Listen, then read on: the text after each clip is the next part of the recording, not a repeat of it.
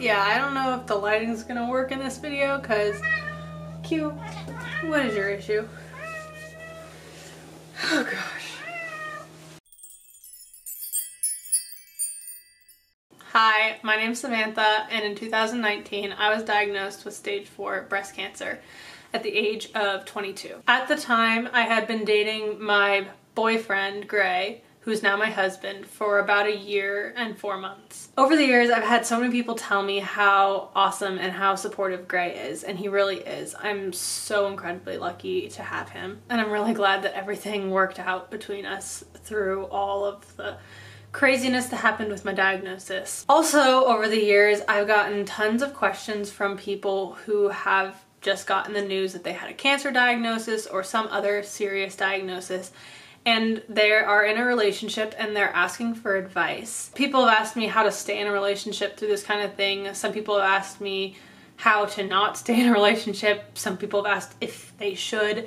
I can't give you advice on every single situation in this video, but I can kind of go over kind of the things that we considered and the conversations that we had at the time. This is mostly going to be from my point of view, so if you're the one that's going through the serious diagnosis, um, you might be able to relate to this more, and if you're the one that isn't, um, in the relationship, then maybe this can give you some insight into what that other person is feeling. Back in 2019, Gray and I made a video about this together, so if you're more interested in her, his perspective on it, go check out that video. We kind of just answered some questions. I just realized that I have so much more to say about the topic, and especially after kind of giving advice to people over the past few years and people coming to me and asking me these questions, I just I felt like I wanted to make another video about it. So first let me just give you some background into our relationship so you kind of know what was going on at the time. Like I said at the beginning, I was 22 and we had been dating for about a year and four months. I was diagnosed in March and I had graduated college the May before and was working at my first job.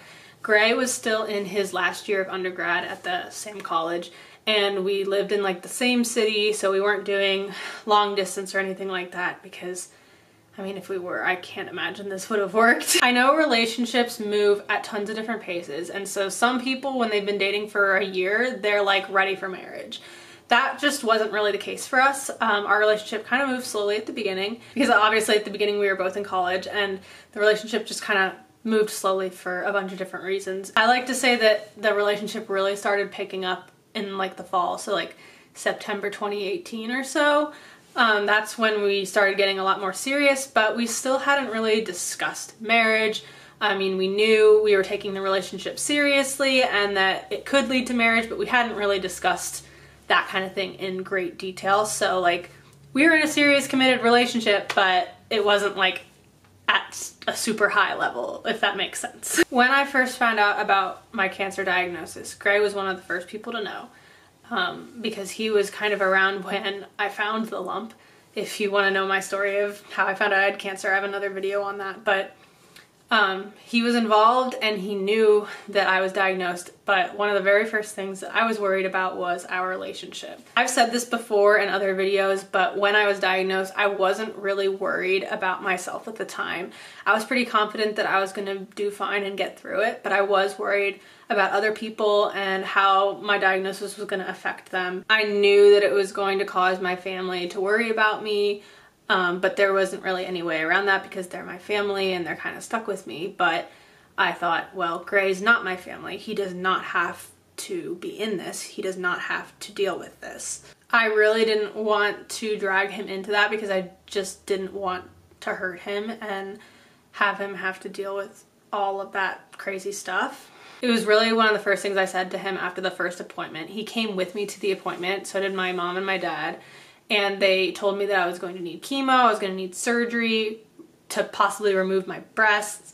I was going to need radiation and then years of hormone therapy following that. They mentioned how all this treatment could affect my fertility and they discussed the option of freezing my eggs so that maybe um, if I couldn't have children naturally, IVF could be an option in the future. And it was just a lot to take in after that first appointment. So there were obviously a lot of discussions that Gray and I needed to have. So what if I end up not being able to have children at all? Um, is IVF something that we would ever even consider doing? is it an issue if I don't have real breasts and I'm like have reconstruction and like fake boobs or whatever? And I'm gonna lose my hair, I'm gonna be sick, there's gonna be, uh, my appearance is gonna change, and I'm not gonna be able to do a bunch of things. Is that going to be a problem? And you know, all this stuff is like varying levels of seriousness and depending on your relationship, certain things could be higher on the list than others. So there was just a lot that that kind of just was thrown at us that we had really never discussed. Like we hadn't really discussed children or anything like that before. So the first thing that I said to him after that appointment was we got back in the car and I said, Gray, I don't want you to have to deal with this. My family has to deal with it, but you don't have to. And he just looked at me and he said, Samantha, I'm not going anywhere. And it was really nice to hear and I really wanted to believe him, but I don't know if I fully did. It just sounds awful to say that I didn't really trust him in that moment. And then on top of that, I didn't know if I myself could handle being in the relationship either. I feel like when people from the outside are looking at a couple that is dealing with a diagnosis like this, they really focus kind of more on the person that doesn't have the diagnosis thinking, oh my gosh, that person is so awesome. They're like keeping the relationship alive because they're being so helpful and so supportive. And guys, it's so true. He really, he was so helpful. He was so supportive through the entire thing. And the relationship would not have worked without him.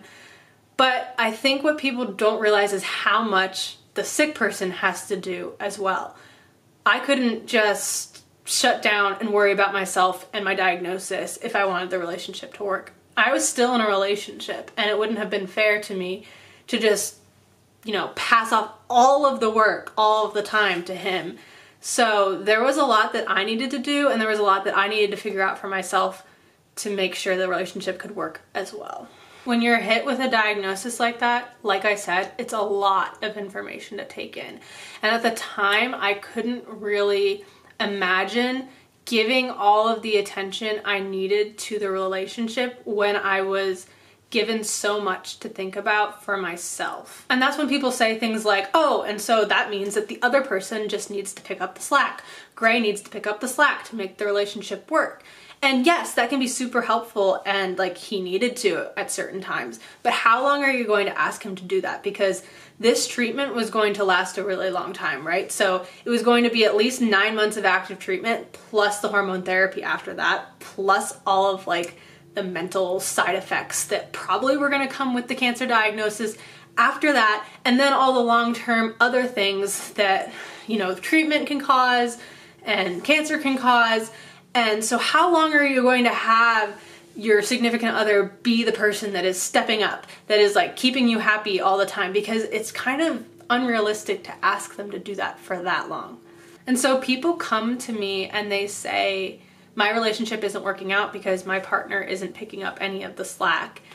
And I never say this to their face, but I just don't think it should be up to them to do that. I think a relationship is two people and you both need to be able to give each other what you need in the relationship. And yes, I was going through something really hard, but if I wanted my relationship to work, I kind of needed to get my act together and be present in the relationship. And so that's kind of the decision that I was trying to make at the time. I was trying to decide, can I do that? And it's okay if you can't. I mean, I've had people say that they can't. They've decided they want to focus on themselves, they can't focus on the relationship, and that's fine. Um, if you want to take a break, take some time for yourself, do that. Um, but if you decide that you want to be in a relationship, or if you're already in a committed relationship like a marriage, then you just need to make a conscious, serious effort to give attention to that relationship. And so I really needed to think for myself. I needed to think if I want to be in this relationship, what do I need to do to make it work? And is that doable for me? Also, what do I need from Gray to make the relationship work? And so I decided, and this is just me, you can be completely different, obviously, but I decided that in order for the relationship to work, I needed Gray to be fully involved in my diagnosis and the treatments and the appointments and to just know what was going on. There just really needed to be that whole level of communication there. I needed to make sure that I was okay with him knowing all of this stuff about me, um, knowing what was going on and what my problems were, the impacts that it could have, and the treatment that I was going on, what that was going to do to me. I needed to be okay with him knowing all of that, and he needed to be okay learning all of that as well. The outcome of all of this could affect the rest of our lives. So if we were married, that would affect him. So I just needed him to know all of it. I, I went to him and I told him, look, I want you to come to these appointments with me. I want you to understand what is going on. And if you don't, I don't know what's going to happen. I don't know how it will affect our relationship. I don't know if I will be able to do it. And it wasn't like an ultimatum or anything because I genuinely did not know how it was going to affect our relationship. I mean, if he said no, like I don't want to do any of that, I probably would have continued the relationship and kind of seen how far it went. But looking back on it now, I cannot imagine it would have been successful. You can go.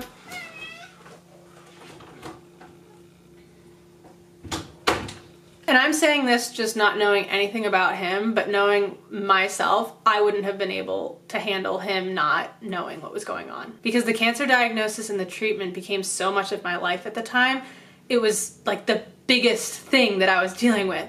So if he was just not a part of any of that, it just it wouldn't have worked because like how do you just how do you be in a relationship and just not be able to discuss like the most important thing that is going on in your life. Like that's just not possible. There were constant doctor's appointments. There were constant decisions to be made about my treatment and it could have just affected our entire future. If he wasn't involved in that, there's no way that he would have had any chance to know what I was going through and he still can't fully know what I went through, but he can understand it a lot more because he was there. And like I said before, it opened the door to so many decisions that we needed to make about our future and just questions that we needed to be on the same page on. And if he wasn't involved in those, then, you know, I guess things could have still worked out, but like, why wouldn't we want to talk about them in the moment? and like this didn't happen but if i wanted to make some decision that he just never would have been okay with i would have needed to know that because if he was just gonna like not want to be with me because of that then like it was really important to know that and if i didn't know that then it would have driven me crazy and so then after gray decided that he did want to be involved um, i was able to feel a lot better um, in continuing the relationship. But my doubts didn't completely go away immediately. I just kind of kept thinking that what if in this whole process things get to be too much for him and he decides that he can't handle it anymore? What is it going to do to me if I have to deal with a cancer diagnosis and a breakup at the same time? And I just knew it would completely crush me. So if I wanted to protect myself from that, the easy thing to do would have been to break up with them because that would have been one less thing to worry about. I could have just worried about myself, maybe could have come back to the relationship after. But like I said, if I did it like that, he wouldn't have known what I went through. And so it would have been probably not savable at that point. I was just terrified of what it would do to me if you know, I, I had to, if he broke up with me while I was going through treatment. I was just scared of it all the time. And people can say, and people do say, hey, anyone who breaks up with a cancer patient is just a serious jerk. And I just hate it when people say that because they're not. If he realized he wanted to break up with me and that this was too much and that he didn't want certain things, the best thing that he could have done was break up with me. It would have been so much worse if we were in a relationship through the end of my treatment and then I finished treatment and he was like, oh, by the way, I was just waiting for you to be done with this cancer thing because I wanted to break up with you. Like, do you know how bad that would have been? I would have let him into my world of everything I was dealing with and he would have known the entire time that he was breaking up with me and he would have known all of this stuff about me that maybe I wouldn't have wanted to tell him if I knew he wanted to break up with me. Like, can you imagine how bad that would be? I just don't understand where it comes from when people say people who break up with people who have cancer are jerks because like no, they're not. They're treating them like they're a normal person. A cancer patient still wants to be treated like a normal person. and it's a different it's a different story if you decide you want to break up later. Like if you're at the very end of the cancer treatment and you decide then that okay, this relationship isn't going to work out, then that's a completely different story. But if you know kind of like during the middle of everything that like, oh, I want to break up with this person, but I don't want to be seen as a jerk, then you're just a you're a bigger jerk. like who cares if you're seen as a jerk to everyone else? You're more of a jerk to the person that you supposedly love in your relationship. So stop saying it. Stop saying that people who break up with people who have cancer are jerks because they're not. I, it's just so messed up and I can't tell you how many times I've heard it. So basically I was telling all this to Gray one day. I said, hey, if this gets to be too much for you, you won't be a jerk. And I was also telling him that I was afraid it would be too much for him. And he said something then that really, really helped me. This was probably two or three months into my cancer treatment, but he said, Samantha, I want to be here for you. You just have to let me be. And I, I still have just never forgotten that because it just helped me so much. Basically, he was telling me that I just needed to trust him. And this whole time, I wanted to trust him, but I just felt like he didn't know what he was getting himself into. But that's really just kind of unfair because, you know, Gray is a smart guy and he can figure things out for himself. I needed to trust that he knew what he was getting himself into that he saw all the things and he realized that this was a difficult situation, but he decided it was worth it still. He decided he still wanted to be in the relationship. That wasn't really my call to make. And all I needed to do was just to let him be there. And I just needed to fully believe him. So things really changed after that. Um, I finally just believed him fully, trusted him, I let him be there for me. I let him take care of me, do things for me. And of course, every once in a while, my mind would go into a dark place and, you know, I would get worried about things. But that happened every once in a while and it was never, you know, to the extreme that it was before. And it was really hard for me. It was hard for me to let him be there for me. I couldn't just close myself off. I needed to let him in to see what I was struggling with. I really couldn't sit there and feel sorry for myself and feel sorry for him. He chose this, and so I needed to trust that he would take himself out of the situation if he needed to. You know, Gray and I sometimes talk about this time in our lives, and he always mentions how it wasn't hard. He always says that people say that relationships are supposed to be hard, and when you're going through something so difficult that it puts a lot of strain on the relationship but I made it easy. Basically, he told me that he thought he was going to have to do a lot more work to keep up the relationship, but he didn't have to because I kind of kept up my end of it. And I'm not like trying to pat myself on the back or anything, but like it's the reason the relationship worked.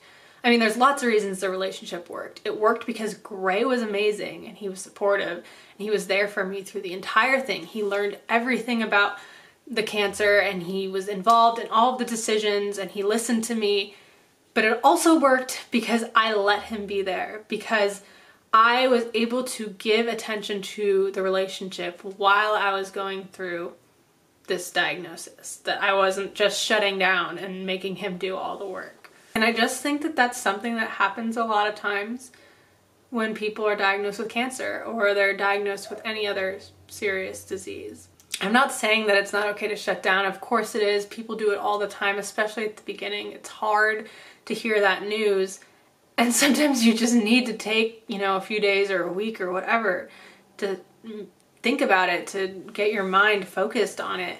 And I'm not saying that you can't do that. I'm just saying that you can't let that go on for weeks and weeks and months and months or else you're putting tons of strain on your relationship and you're not giving your relationship the attention that it deserves. So, if you've been diagnosed with cancer or some other serious illness and you're wondering how to stay in the relationship, my biggest advice to you is just to take responsibility for it. You can't just shut down. I mean, some days you might need to. Everybody has hard days, especially right when you're diagnosed. You might need to take a few days and just sit with your thoughts and think about it. But overall, you need to make the decision to trust your significant other and to put the work into the relationship that the relationship needs. It's a lot to take on, but it needs to happen if you want it to work. And if you do that, it just makes it so much easier. It makes it easier on you, it makes it easier on them. And these are these are hard things to deal with, but people get through them and you totally can too. Okay, that's all I have for this video. If you have any questions or advice for anyone else going through the situation, leave them in the comments below. If you want to talk to me privately, um, I'm available on Instagram. You can message me there.